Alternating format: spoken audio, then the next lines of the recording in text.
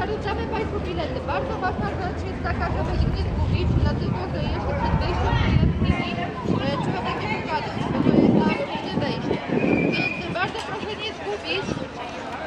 Później po jaskini przewodnik będzie od Państwa te bilety później jeszcze zbierał, więc tak proszę